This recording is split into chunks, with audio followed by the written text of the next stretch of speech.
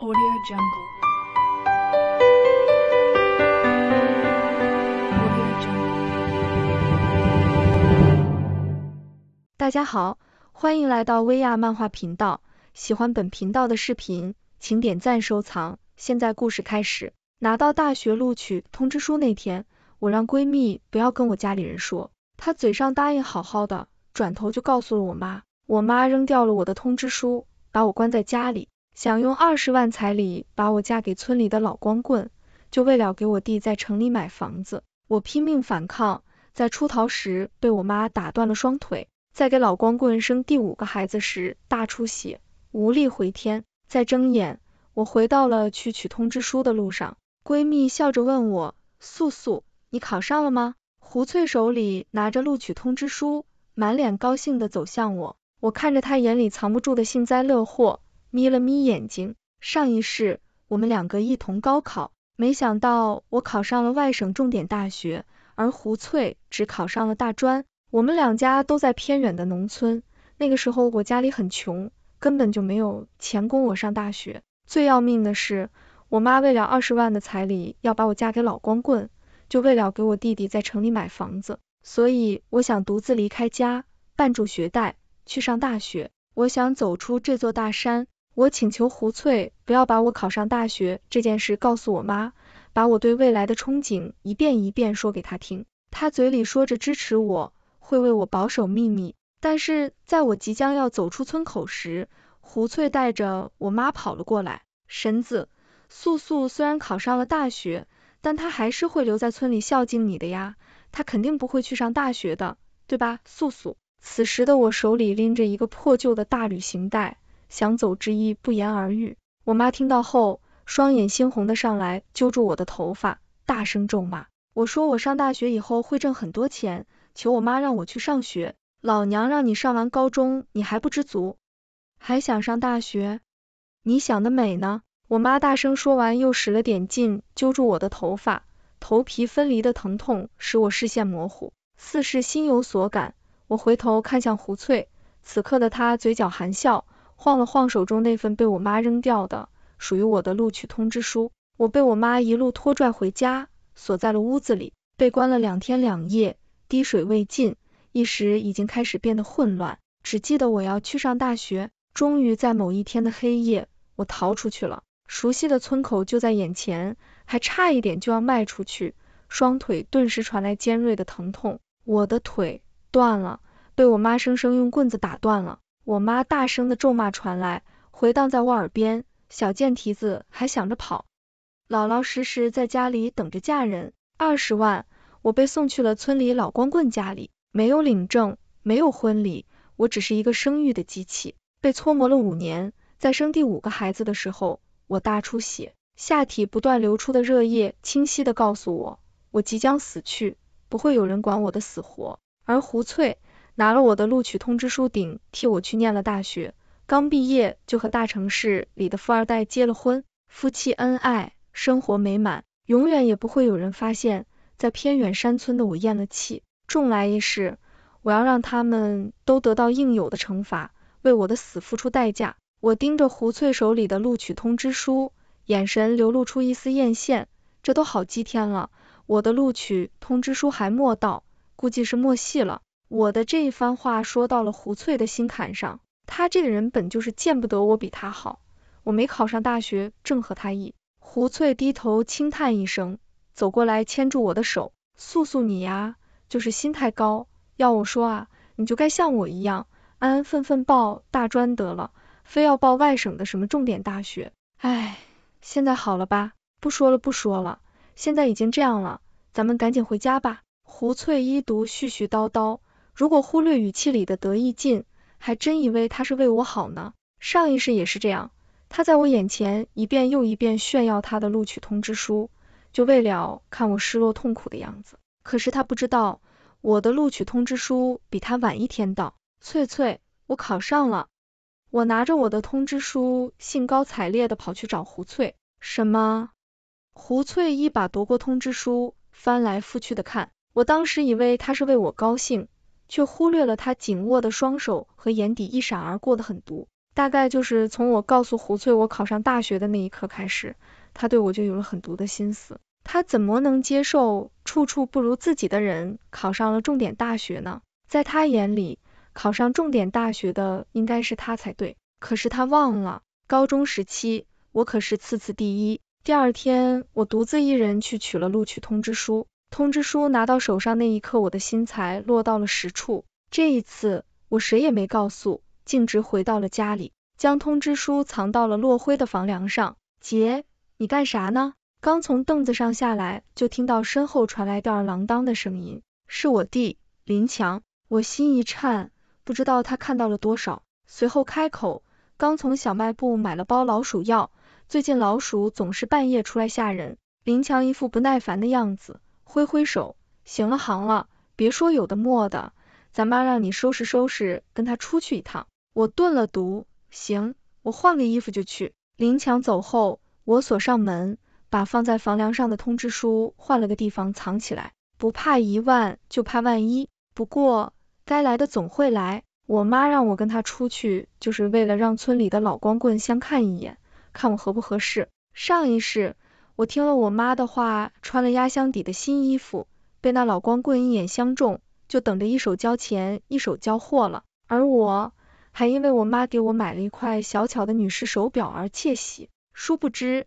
这块手表是老光棍提前给的聘礼，我深吸了一口气，缓了缓因为怒气而过快的心跳。妈，我好多衣服都被老鼠咬烂了，我去翠翠家借一件她的衣服穿。我装作若无其事，从院子里剥棉花的我妈面前走过。行，快点啊！她抬头看了我一眼，又低头忙活手里的活。最近老鼠是有点多，我一会儿给你屋里放点老鼠药。我走到大门处的身体微微一僵，依旧维持脸上的笑容。不用啊妈，我刚才放过了，正关门捂老鼠呢。她挪了挪做酸的屁股，朝着我扬了扬手。行行行，快去吧。我到胡翠家里的时候，他正坐在院子里洗衣服。他家并不比我家好到哪里去。胡翠上面有一个姐姐，下有一个弟弟。他姐姐十八岁不到就嫁出去了，听说彩礼好几万。重男轻女的思想在我们这个村子里已经根深蒂固，家里没有儿子是会被人耻笑的，而生不出儿子，在这个无知的村落被认为是女人的问题。素素，你咋来了？胡翠略带疑惑的声音让我缓过了神。我走向他，我这不是没考上大学吗？我妈给我介绍了个对象，说是给我二十万呢。我适当地表现出羞涩之态。我好看的衣服都被老鼠咬烂了，我就想来借一套你的衣服穿穿。我清楚的看到，我说出彩礼二十万时，胡翠那发亮的眼睛。我不理会他，自顾自说着，听说我落榜了，他还支持我再考一年呢，就是年纪大了一点，不过不妨事，对我好就成。胡翠停下手里的活，咽了咽口水，给你二十万，还让你再考一年，啥样的人啊？你俩见过了吗？我双手托腮，回了他一句，等会儿就去县嘞。我妈说让我穿好看点去。我不去看胡翠那越来越亮的眼睛，只一个劲说相亲对象怎么怎么好。素素啊，我一会儿正好也没事没事，我陪你去相看相看，也好让我放心。我心中暗笑，就是怕你不去呢。胡翠他妈和我妈一样，都觉得女孩读大学没用。上一世胡翠他妈是不让她去上大学的，但耐不住胡翠会来事，找了外村的一个有家室的男人，每个月固定给他生活费，硬生生供她到大学毕业。大学一毕业就把人踹了，跟城里的富二代处对象了。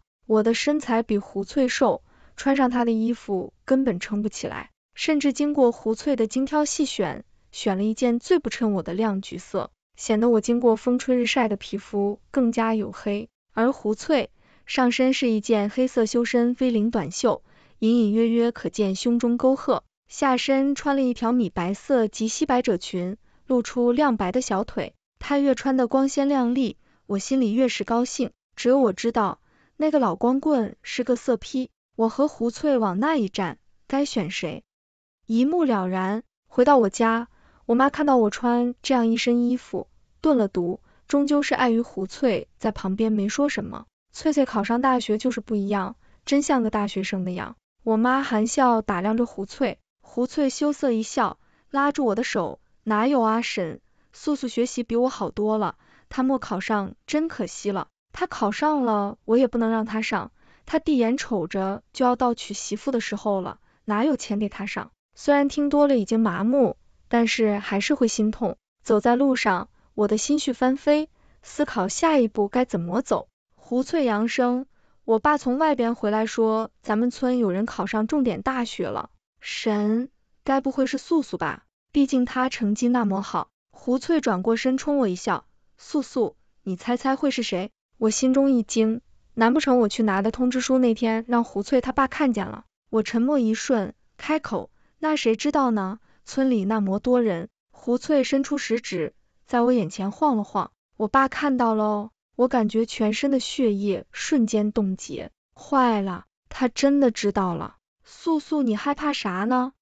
脑门上都出汗了。胡翠含笑看着我，看得我毛骨悚然，进出了冷汗。可能是上一世我对他百分信任，而他在我最需要帮助的时候狠狠被刺了我。想到我被疼痛折磨致死，那种濒临绝望的感觉，哪怕重生回来都让我害怕。我擦了擦脸上的汗。转头对我妈说：“妈，还远着呢吗？咱歇会儿吧。”我捂着肚子，我有点闹肚子。我妈拉拉个脸，挥了挥手：“去吧，快点的。”我拉着胡翠跑到了一棵大树后面。胡翠一把甩开我的手：“考上重点大学的那个人是你吧？”我爸看到跟我说了。我点头。上一世，我千求万求让胡翠不要告诉我妈。结果她还是在我即将要走出村口时，带着我妈赶来，我被活生生打断了双腿。这一次，我不仅要告诉她，我还要她付出代价。你想让你的相亲对象供你上大学？我低头沉默，点了点头。可是我们俩八字还没一撇呢，不知道他能不能相中我呢？翠翠，你帮帮我吧。胡翠拍了拍我的肩膀，眼底流露出一丝贪婪。听说他家就想要一个大学生当媳妇呢。翠翠，你说我要不要告诉他我是重点大学的呀？胡翠清秀的脸上闪过一丝算计，不行，看出了我的疑惑，他故作伤心。你妈不是不让你去上大学吗？他要是知道了还了得？我这都是为你好。看着他虚伪又贪婪的脸，我一阵反胃。一向见不得我比他好的胡翠肯定会来掺一脚，这可正中我下怀。素素。你到时候啥话也不用说，男人都喜欢文静的。十七八岁的小姑娘还不知道怎么遮掩自己充满算计的嘴脸。宋城回来了，郑玉还，这就是素素吧？老光棍刘存银看见我们走到门口，立马走到胡翠面前，伸手想握住她的手，语气里止不住的兴奋。这老光棍怕是掏出了压箱底的货，一身深棕色西装，穿的人模狗样，甚至显得年轻了几岁。胡翠受到惊吓一般后退了半步，只是那双眼还没飞快的看了一眼刘存银，这才是我闺女素素。我妈一把把我从胡翠身后拽出，珍珠在前，谁还会在乎不起眼的榆木呢？该选谁，一目了然。我抬头看了一眼刘存银，上一世痛苦的回忆浮现在眼前，我恨不能当场活剐了他。我始终保持沉默，只低头看地。胡翠将我拉到她的身后。一脸笑意看向刘存银，素素是我好姐妹，你俩结婚后要对她好一点。她说的一脸认真，将我护在身后，一副为我着想的样子。将我挡在身后，这刘存银可不就只能看到她了吗？我妈还在旁边，她这个好姐妹算得了什么？我妈上前一步，翠翠呀，这是素素相亲呢，你让人俩聊一聊。眼见住气氛开始不愉快。刘存银找的媒婆这时候才出来打圆场，存银啊，你看看素素合不合你心意？你点头，咱们就给这事定下。我不要这个，我要那个。刘存银抬起手，直愣愣指向胡翠。刘存银这个人向来无法无天，放肆惯了，他才不会在乎别人的想法。我眼见着我妈的脸色由红转青，她的女儿被嫌弃，打的是她的脸，她是最要面子的人，要这个不要那个。你当你是皇帝选妃呢？多大的脸办多大的事，臭抹脸的。咱走。我妈说完一通，拉着我就走。至于胡翠，她没跟上来。隔天胡翠就找上门来，有意无意间露出手腕上那只精巧的女士手表。我知道那意味着什么，莫想到他下手这么快。不过正合我意，我假装刚看到他手上的表，一副惊讶的表情。你手上这个表是谁给你买的呀？怪好看的，就是昨天那个刘存银啊，他相中我了，昨个立马就去我家提亲了。这个表是他提前给我的聘礼。哎呀，我都说不要了，他硬给我。听着他语气里止不住的得意，我表面伤心，其实心里都快笑死了。他看我不说话，以为戳到了我的痛点，又继续开口。他赚了大钱了，彩礼要给我二十五万呢。哦，他口中的刘存银赚的大钱，可都是要命钱。村子里以刘存银为首，竟干一些杀人越货的买卖。找一个空地，提前准备好陷阱，等有人或者有车掉入陷阱，他们再上前询问帮忙，一击必杀。值钱的东西转黑道二次售卖，人杀完直接丢山里埋了。凭借这个，刘存银一年能赚个几十万。其实我弟林强也算刘存银的下手，只是他赚来的钱都不拿回家，全都拿去赌场斗鸡了，没有赌赢，甚至还欠下了十几万的债。这些都是上一世刘存银亲口跟我说的，他清楚，一个断了腿只能躺床上被迫生孩子的人是没有能力将这些消息传出去的，他到死也不会知道我重生了。这天，我特意去了一趟胡翠家里，翠翠，我刚才在路上碰到刘存银了，他让我给你带个话，说是今天下午去河边找他，他要跟你商量结婚的事。我的话让胡翠羞红了脸，轻轻嗯了一声。他双手拄着下巴，脸上是一副幸福的神情。刘存银说：“我上大学了一个月，给我一千块钱呢。他还说我毕了业就给我找个好工作，以后就生一个孩子。他说生太多孩子会伤身体的。他一遍遍说着对未来的向往，就如同我上一世一样。我将我的所有事情事无巨细的都跟他说，而他嘴上说着会为我保守秘密，却是害死我的最大黑手。”我生第五个害死流血而亡时，他正跟他的富二代老公浓情蜜意。看着眼前清纯靓丽的胡翠，我的嘴角勾起一抹讥讽的笑容。我倒要看看你和刘存银结婚后还能不能笑得出来。我起身离开，转向刘存银家。存银哥，翠翠让我来跟你说一声，她今天下午在河边等你，她要跟你说结婚的事里。一整个下午，我都蹲在河边的草丛里。别别在这里，放心吧，翠翠，这里没人看见，这样多刺激。我看着两人肉贴肉纠缠在一起，恶心到午饭都要吐出来了。等到两人坐到忘我时，我走出草丛，假装刚刚路过，猛地大喊一声：“翠翠，存银哥，你俩在这里干啥呢？”有不少路过河边的人都纷纷往那边看，低矮的草丛被风一吹，根本挡不住多少东西。特别的是，经过我一声大喊。好多人的目光全都聚焦在两人的身上，啧啧啧，这闺女才多大呀，就知道偷人了，大白天的也不知道害臊，这要是我家闺女，我肯定打死她，臭不要脸的玩意儿！两人赤裸的身体被众人围观，胡翠那张楚楚可怜的脸也被人认出来了，啊，都滚开！胡翠疯了一般大吼大叫，我装作好心一般脱掉外套披在她身上。她紧紧用衣服捂住胸口，看向我的目光中满是恨意。恨嘛，恨就对了。上一世你对我做的那些事，可比这可恨多了。胡翠和刘存银在河边乱搞的事，瞬间传遍了村子。这还是大学生呢，这模放荡，还没结婚就跟人搞上了，等结了婚还指不定怎么样呢。都这样了，还不赶紧嫁过去？这要是我闺女，我马上就给她送走。胡翠他妈听到村里的流言，被骂得抬不起头，在家里没少打胡翠，隔天就将胡翠送到刘存银家里了。急匆匆的，婚礼都没来得及办。送胡翠那天我也去了，我看着他，嘴角止不住的往上翘。翠翠，你一定会幸福的。上一世我被打断腿送去刘存银家里时，他也是这样跟我说的。现在我把这句话还给你。胡翠没有理我。只一脸含笑看向我妈，婶子，素素考上大学了，她没跟你说吗？瞬间，我全身的血液凝固。我妈听完胡翠的话，没有丝毫的怀疑，拽着我的手腕，脸色阴沉的回了家。小贱蹄子，你是不是考上大学了？以为就是城里人了？一声都不吭，在我妈的脸上只有满脸的狠毒，丝毫没有女儿考上大学的欣喜。我又想起了上一世，胡翠带着我妈到村口时，和现在的表情一模一样，狠毒中带着后怕。她怕养育我多年白白浪费掉，一分钱都捞不到。头皮的阵痛将我拉回神，我被我妈扯住头发，一把甩倒在地。不告诉我，我让你不告诉我。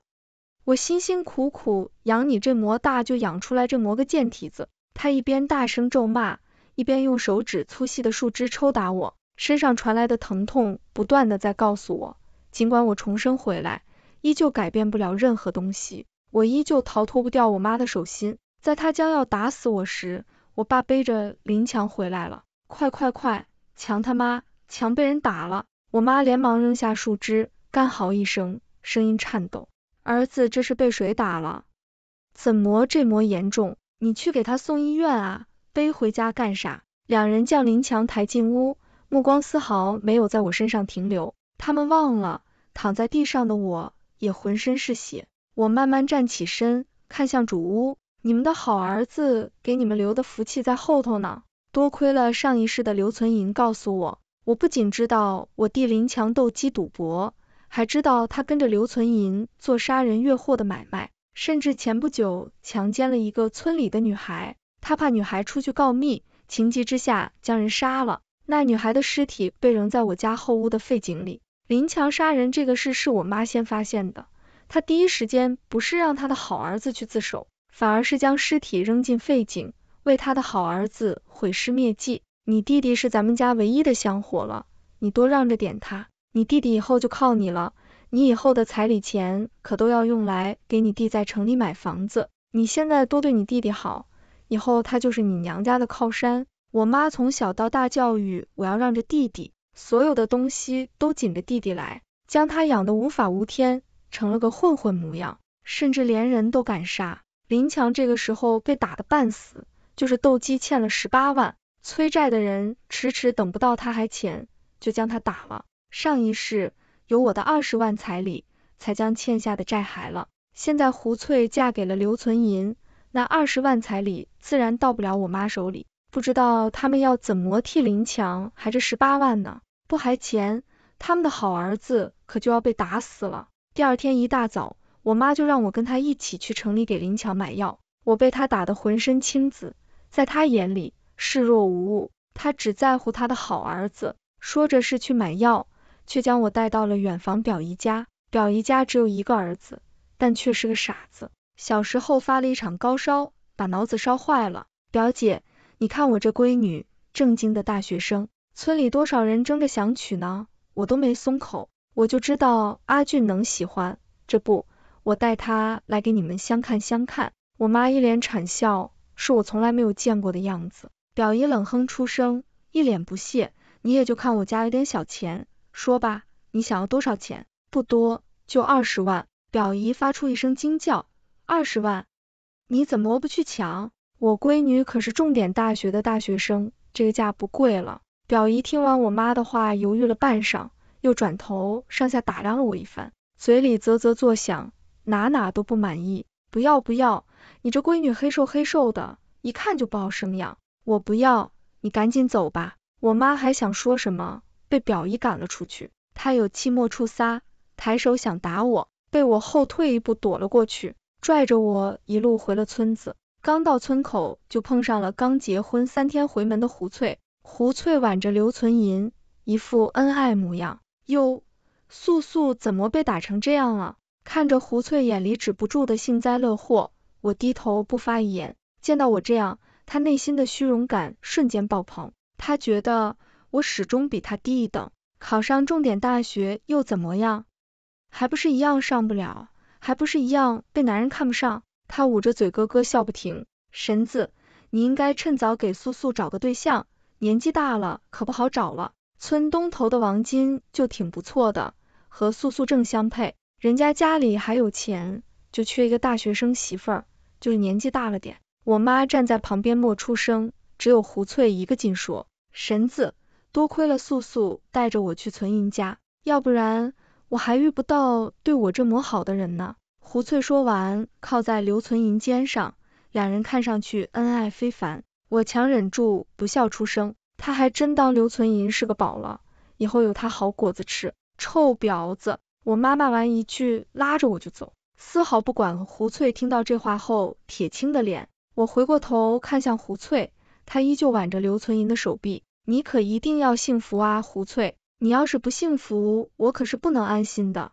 刚走到家门口，就看到门口围了一大堆人，对着院子里指指点点，也不知道造了啥孽，给林强和他爸俩都杀了，头都被砍掉了。今晚怕是要做噩梦了。幸亏林嫂子和她闺女今天不在家，躲过一劫，不然呐，全家都得死。我妈在他们身后听到这些话，猛地拨开人群。看到院子里躺着的两人时，发出一声哀嚎，腿软倒地。她一路爬到林强身旁，抱起林强没有头的身体，嚎啕大哭。院子的地面都是凌乱的血迹。我心一惊，没有想到那些催债的人居然这么狠，竟要债不成反将人杀害。上一世因为我嫁给了刘存银，才避免了他们被杀害。这一世是他们活该。我看着我妈坐在地上。像丢了魂一样，她如果从小不惯着林强，如果不那么溺爱他，将我们姐弟俩一视同仁，是不是结果就不一样？可是没有如果，再重来多少回，他依旧只爱他的儿子。不多时，远景来了，当然是我报的警。看到远景来了，坐在地上宛如一滩死水的我妈活了过来，她连滚带爬上前，抱住远景的大腿，嘴里止不住的哭喊：“远景同志！”你可要给我儿子报仇啊！把他们都抓起来，给我儿偿命！他说的声泪俱下，让人听了都忍不住动容。大姐，你先起来说话，做一下笔录。做什么笔录？我儿子被人杀了，你们就去把他们都杀了。我妈双眼猩红，如同一只困兽，理智全无。看到他现在这个样子，我心里有种说不出的畅快。身上被他用树枝抽打的伤痕，此刻隐隐发烫。我走上前。在我妈错愕的眼神中，怯怯开口：“远景叔叔，我知道是怎么回事，你问我吧。是我弟林强欠了十八万赌债，催债的人找上门，将他们……”正说着，一只布鞋不偏不倚砸在我的额头，微微有些疼痛。我妈骂骂咧咧，指着我的鼻子：“你弟什么时候欠钱了？你个贱蹄子，别胡说！远景同志，我儿子和我丈夫都是被无辜杀死的呀！”我用手捂住被砸的额头，勾起了唇角。我妈一口咬定我爸和林强是被无辜杀死的，那样十八万赌债也不用还了，甚至还会有一笔高额的补偿。我怎么会如他的意呢？远景叔叔，我家屋后的废井里埋了个死人。我妈听到我说的话，一副不可置信的样子，上来就想打我，被动作快的远景扣住了手腕。远景示意我继续往下说。我的目光从我妈被遏制住的手腕上划过，最后落在了她的脸上，和她四目相对。林强三天前在树林里强奸了一个女孩，怕女孩事后告密，索性将她杀害。他将那个女孩抱回家，我爸、我妈还有林强，在深夜将女孩的尸体扔进了屋后的废井里，又运了一车土将废井填了。我的话瞬间惊起了轩然大波，场面一时安静的落针可闻。你个小贱蹄子，别胡说八道！别给你弟摸黑！你看我不打死你，烂嘴的东西！我装作害怕，躲在远景的身后。看到我妈这个样子，还有什么不明白的？我身前的远景沉声下令：挖井！十几个远景一起挖，不多时就挖出了一个还未腐烂的尸体。该说不说，我妈他们埋人的时候，丝毫没有想过有一天事情会败露，所以。女孩身上的衣物都是完好的，就等提取指纹了。这下我妈跑不掉了。我妈看到尸体被捞上来的那一刻开始，就已经跪倒在地，满脸泪痕，眼里尽是悔意。我了解她，她不会后悔，她只会后悔没有埋远点，后悔让我看到，更后悔怎么默把我一起杀了。对上她的眼神，我露出了今天第一个笑容。此刻的他格外脆弱，最是经不起刺激。他捡起不远处的砖头，朝着我的方向用力砸了过来。我要杀了你！杀了你给我儿子偿命，都是你害的，都是你害的。砖头没有砸到我，一位远警反应迅速挡在了我的前面，砖头砸到了他的后背，我只听到闷哼一声。孙队长，众人被这个状况吓到，纷纷上前将我妈摁在地上，他的眼神直直的看着我，嘴里发出嗤嗤嗤的笑声。我怀疑他疯了。我和我妈都被带到城里警察局，他因为袭警，现在正在坐牢。我在做笔录，我将所有的事情事无巨细的告诉远景，甚至刘存银做的那些事我也全说了。他们惊讶于我一个小姑娘怎么什么都知道。我只说是林强和刘存银有来往，被我偷听到的。人谁也不会相信我是众生而来。指纹校验结果很快就出来了，不出我所料。我妈、我爸还有林强的指纹都在上面。我所言属实。我妈因为袭警加上共犯，判处十五年有期徒刑。我因检举有功，奖励五千元，被送回了村子。我本应该是不用回来的，但是刘存银还没有被抓。刘存银做事很谨慎，他从来没有露过面，都是他的小弟去杀人越货，而他坐享其成。除了我，村里没有人知道他做的事。我要做的就是等，等远景收集到证据，将他抓获。胡翠知道家里就剩我一个人了，赶忙过来找我，素素，咱俩逃吧，逃走去上大学。胡翠眼神希冀的看着我，我装作疑惑，刘存银不是供你上大学吗？你还逃啥呀？他一脸欲言又止，其实不难看出，他嘴角红肿，嘴唇破裂，额头还有未干的血渍。我一直都知道刘存银家暴，他一开始答应的好好的，现在又让我生孩子再去上，我不听他的话，他就打我，每天都打。他挽起袖子，胳膊上密密麻麻都是淤青，没有一处是好的。你帮帮我吧，素素，我真的不想在这里待了，我想上大学去。随着他的话说完，一颗蝌蚪大的泪珠缓缓掉落，掉到了我的手上，烫的惊人。上一世我也是这样。求他不要告诉我家里人我考上大学了，可他嘴上答应的好好的，现实却变了卦。我清楚地记得我逃到村口被我妈打断双腿的滋味，也记得他拿着我的通知书，双眼含笑的模样。我擦掉胡翠脸上的泪水，轻声承诺：好，我帮你。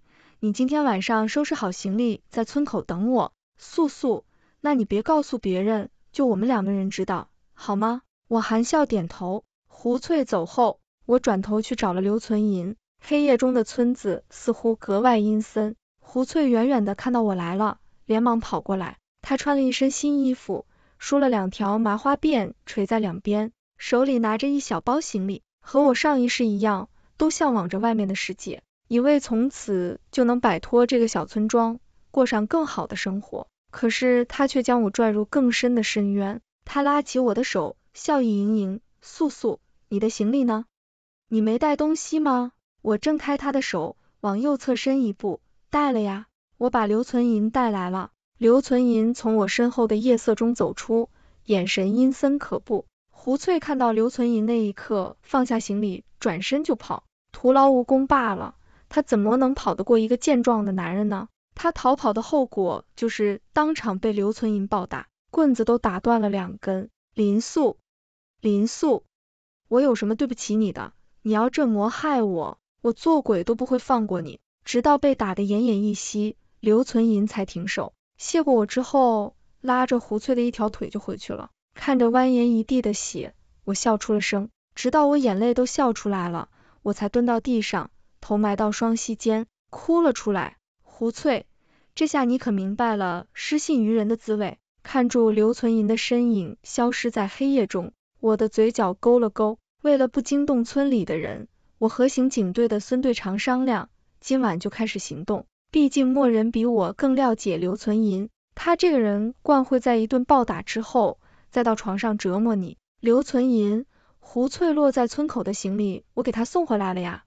说完半晌，房间里没有任何动静。等我要转身离开时，屋里传出了声音，放门口就行。男人粗喘的声音混合着女人的嘤咛，人谁都知道屋里此刻发生着什么。我抬头和孙队长对视一眼，他对着身后比划了一个手势，赞叹，两人便踹开房门。屋内的床上血腥混合着腥臭味，两人双双赤裸。刘存银被摁倒在地，床上的胡翠满身血迹，双腿大张，眼神涣散。我捡起地上的衣服，扔在胡翠身上，这都是他的报应。刘存银犯罪证据确凿，直接带到城里局子审问。素素，你杀了我吧！胡翠双眼充血，已然是出气多，进气少。我看着他，没有说话。活着不是更能体会到我上一世的痛苦吗？我拿着我的录取通知书去监狱探望我妈，仅仅一周，他全身就像瘪了的气球一样。浑身前瘦，往日丰腴的身体成了皮包骨，两颊的肉凹陷，颧骨高高凸起。妈，我考上大学了，你高兴吗？他隔着玻璃看着我，双眼无神。我从小努力读书，努力干活，可是我怎么就比不上林强？在你眼里，林强是个混混，都比我好，我怎么都不得你喜欢？妈，你为什么要生我？听到林强的名字，我妈才缓缓回神。看着满脸泪痕的我，她的眼里只有厌恶。你弟弟是男孩，男孩才能给我们两口子养老，养个闺女就是为了卖个好价钱，给你弟攒彩礼，买房子。我打断他，疾言厉色道：“可是妈，你也是女人。”他顿住，低头沉默。是啊，我也是女人，可是我娘就是这么对我的。她像一个复读机，反反复复说着这句话。我不再理他。起身离开了监狱，即将要走出监狱时，孙队长跑了过来。林素，胡翠说她想见你。那晚之后，刘存银被带走审问，胡翠被送去医院治疗。听孙队长说，他的双腿算是废了，被刘存银用棍子生生打断了，以后只能在轮椅上度过，甚至还检查出来，胡翠已经有一个月的身孕了。推断时间，早在订婚那天，两人就已经搞上了。你个贱人，你都是故意的！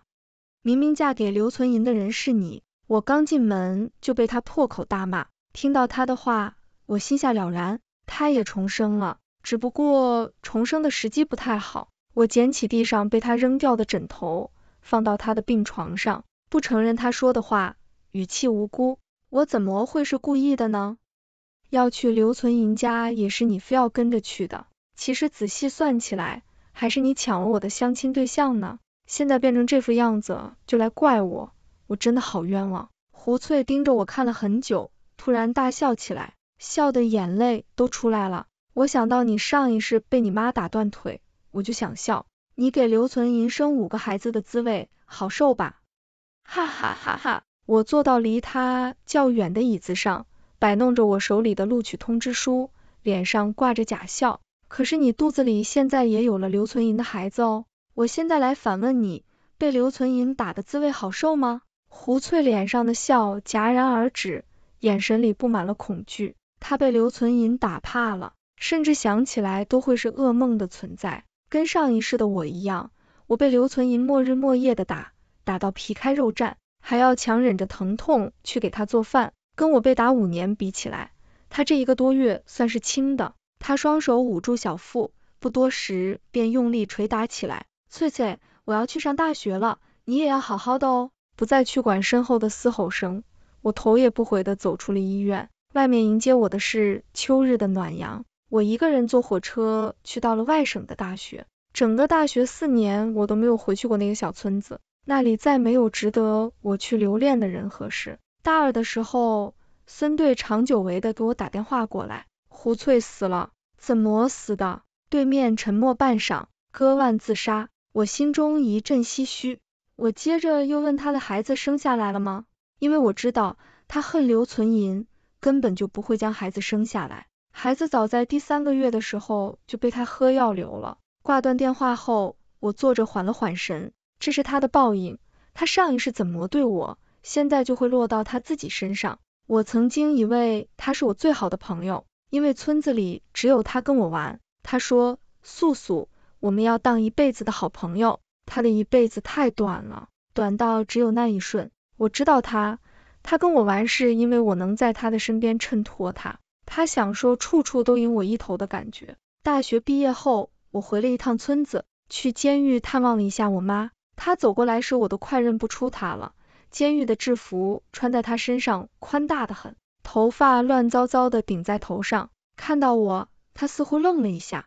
你是素素？我点头。素素，我的好闺女，妈对不起你呀，都是妈的错。她哭得声泪俱下，而我只觉得吵。妈不应该宠着惯着你弟，冷落了你。你那岂止是冷落了我，就连我读高中都是我日日跪在你面前求的你。